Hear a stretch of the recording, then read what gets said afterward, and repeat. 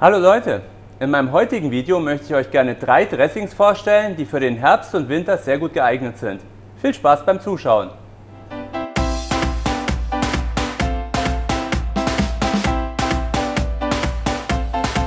Eines der bekanntesten Herbst-Winter-Dressings ist das Kartoffeldressing.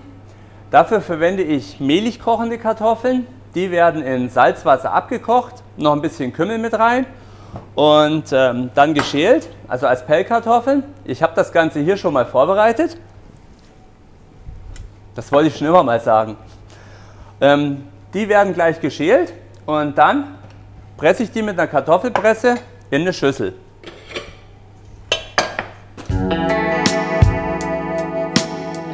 Die Kartoffeln sollten am besten heiß gepellt werden, denn dann binden sie noch richtig schön und lassen sich auch viel leichter schälen, wie wenn sie schon kalt sind. Das kennt man zum Beispiel von Bratkartoffeln, die lassen sich kalt auch besser schneiden. Die heißen Kartoffeln lassen sich auch besser durchdrücken. Den Fond mache ich mir auch noch mal warm. Dafür verwende ich ein bisschen Essiggurkenfond, Gemüsefond etwas Senf.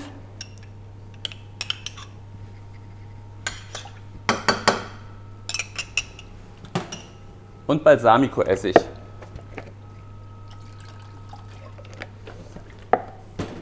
Den Fond stelle ich mir jetzt noch auf den Herd. Bisschen Salz, Pfeffer dran. Und mache mir den schön heiß. Dann bindet er sich nachher besser mit den heißen Kartoffeln. Und die Soße wird ein bisschen cremiger, sämiger. So, einmal warm machen. So, der Fond ist heiß. Der muss nicht unbedingt kochen, einfach nur, dass er schön warm ist. Und dann wird er in die Kartoffelmasse reingerührt, bis es so eine schöne sämige Soße ist. Und das Kartoffeldressing, das schmeckt nachher auch am besten, wenn es noch, äh, wenn es schön warm ist.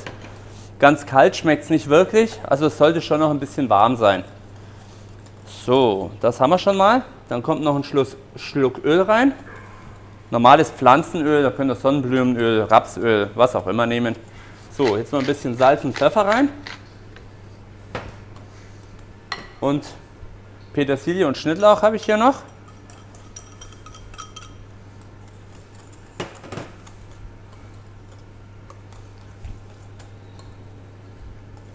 Und dann haben wir das Kartoffeldressing schon mal fertig. Ganz einfach eigentlich. Und als nächstes wagen wir uns ans Orangendressing. Dafür brauche ich Orangen bzw. den Saft von Orange, also Orangensaft. Dann verwende ich noch Orangenmarmelade.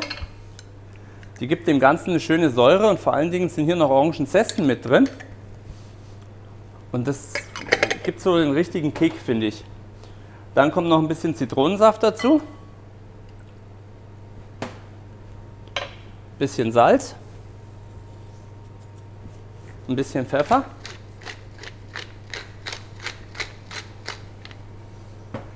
Und das Ganze verrühren wir jetzt ein bisschen, bis sich die Marmelade aufgelöst hat.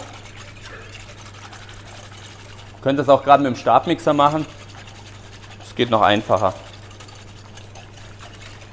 Und durch die Marmelade hat die auch schon eine gewisse Säure, äh, Süße, also eine Süße und eine Säure, so eine leichte Bitterkeit auch. Und das schmeckt ganz lecker.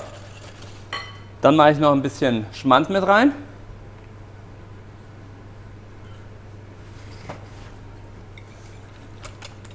Das jetzt für die Cremigkeit.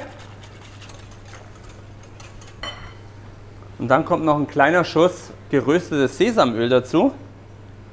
Nicht zu viel, weil das ist sehr, sehr intensiv und dann schmeckt man nachher nichts mehr von der Orange. Zusammen mit Salat schmeckt das dann wirklich sehr fruchtig und lecker. Einfach mal ausprobieren. Apropos ausprobieren, das Rezept für die ganzen Dressings, da findet ihr unten einen Link zu meiner neu erstellten Webseite. Und da habe ich euch das komplette Rezept für die einzelnen Dressings, was kommt ja noch eins, ähm, zusammengeschrieben, auch mit Anleitung, wie man sie macht. Und da könnt ihr auch die Personenzahl eingeben, für die ihr sie braucht und könnt das dann ausdrucken und wunderbar zu Hause nachmachen. Gut, Das Orangendressing ist fertig. Ähm, eins noch. Nachher werde ich mir noch ein paar Orangenfilets schneiden und die mit unter den Salat mischen. Das sieht dann auch noch lecker aus und fruchtig. Also kommt ganz gut. Und als drittes kommt noch das Walnussdressing. Dafür verwende ich ein bisschen Gemüsefond. Auch wieder ein bisschen Balsamico-Essig. Dann Salz. Pfeffer. Darunter rühre ich mir ein bisschen was von dem Walnussöl. Und die Nüsse, die werde ich mir gleich noch schälen und dann kurz im Ofen anrösten.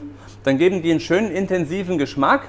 Die werde ich dann grob hacken und die kommen auch noch mit rein. Und dann ist das Walnussdressing auch schon fertig.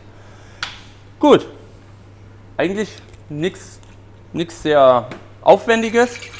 Das lässt sich alles sehr einfach nachmachen, finde ich. Wenn es nicht so ist, schreibt es mir unten in die Kommentare. Dann lasse ich mir noch ein paar Dressings einfallen, die noch einfacher gehen. Gut. Dann noch kurz zur Verwendung der Dressings. Also das Kartoffeldressing, das ist ja sehr bekannt für den Feldsalat, vielleicht noch ein bisschen Speck und Croutons mit dazu. Hervorragend. Und wo es auch noch gut schmeckt, ist Endiviensalat, auch sehr lecker. Dann das Orangendressing, das würde ich für, wenn ihr jetzt zum Beispiel Wild in der Vorspeise habt, dann passt das sehr gut zum Salat. Wie, passt auch zu Rucola oder auch sehr lecker zum Chicorée-Salat, weil der auch eine gewisse Säure hat. Und das Walnussdressing, das äh, schmeckt sehr lecker zu Kalbsbries. Also wenn ihr die Möglichkeit habt, da ranzukommen, gebackene Kalbsbries, hervorragend. Und ähm, allgemein zu Salaten passt es auch sehr gut. Das waren jetzt die drei Salatdressings, die ich für den Winter eigentlich immer ganz lecker finde. Wenn ihr auch ein paar Salatdressings habt, die zu der Jahreszeit passen, einfach unten in die Kommentare, würde mich freuen. Eventuell, wenn es was ausgefallenes ist, vielleicht sogar mit Rezept. Und ich werde mir jetzt noch einen schönen leckeren Salat machen und euch vielen Dank fürs Zuschauen. Würde mich freuen, wenn wir uns im nächsten Video wiedersehen. Bis dahin, viel Spaß beim Kochen.